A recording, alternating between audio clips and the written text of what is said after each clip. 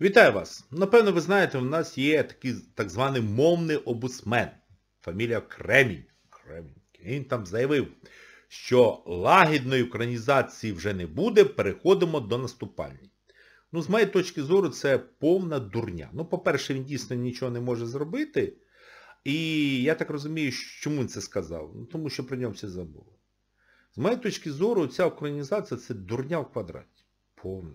Мова це оця дурня, про яку взагалі, от якщо б я дійсно був би керівником, я взагалі б ніякий дурний закон про мову не приймав. Тому що він тільки шкодить. Ну, в даному випадку дійсно закон про мову використовує російська пропаганда і переграє Україну. Переграє. Україна програє. І за цього дурноватого закону про мову.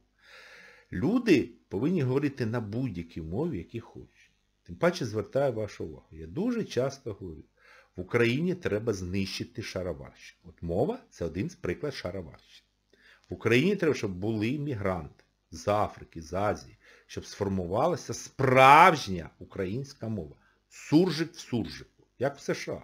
А в США правильної англійської мови немає. Ні, ну чесно, повністю. Там причому є регіони, де говорять на такій англійській мові, що сказали, да ви що, тут і близько. Да. І вона багата. І вона правильна. Оце правильно. Не повинно бути мови. Повинна бути держава. А люди повинні говорити на будь-якій мові, які подобаються. Ну, я розумію, що Кремню треба повипендрюватися, потрендіть, але я говорю, що це повна несенітниця. Повнісінька. Він за мову не буває. Тільки дурні це говорять. Війна завжди за гроші.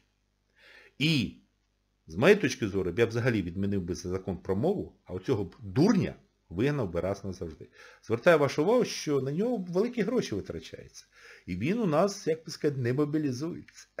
Так що, як бачите, дурні є не тільки в Росії, в Україні також є.